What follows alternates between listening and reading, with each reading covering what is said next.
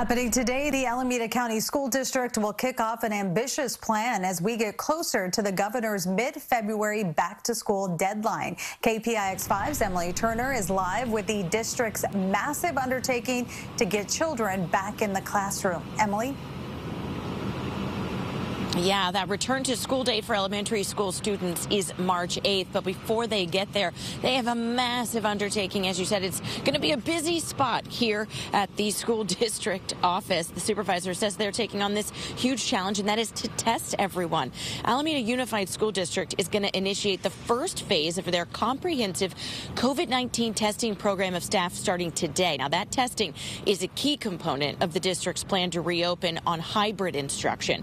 Under Governor Newsom's proposed Safe Schools for All plan, districts have to submit a plan to test all of their students and all of their staff before reopening their campuses, which is a lot of testing.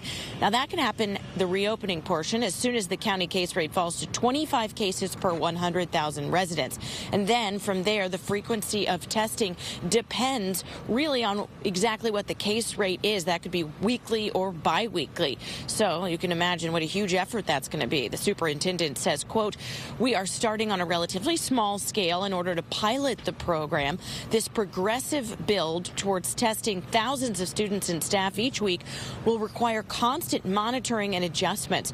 We're moving into a large scale operation that is uncharted territory for our district and districts across the state. So again, as you can imagine, thousands of people having to be tested. That will all begin today, this morning here in Alameda. In the meantime, they are planning to have a meeting tomorrow tomorrow, uh, where they kind of go over what happened today and what the future looks like for the rest of this reopening plan. Of course, we'll be here through the morning to bring you the very latest with how that all goes.